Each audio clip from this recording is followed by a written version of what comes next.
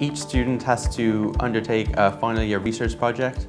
Uh, I have an interest in plastic surgery, so I was able to do mine in that department. I'd like to do something kind of the area of sports medicine. I think we, you know, something a bit different.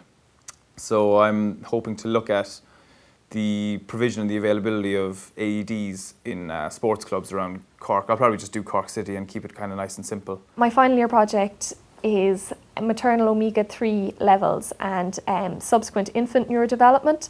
So I'm under the Department of Obstetrics and Gynecology in CUMH and the Department of Paediatrics. So it's nice to have a mix between the mum side of things and then the children's side of things as well um, because they're two specialties that I'm interested in. I wasn't really able to choose between them. Um, so I'm lucky that we have um, great research facilities um, in Cork and particularly in the maternity hospital.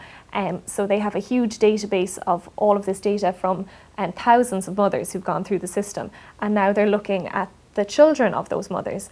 Um, so it's a, it's a wealth of data and it's, we're lucky to be allowed access to it and allow, um, allowed to form projects from it. So I'm trying to see if um, the kids of mothers who've had high levels of omega-3, which is like found in salmon and fish oil, um, are smarter than kids whose mothers don't have high levels.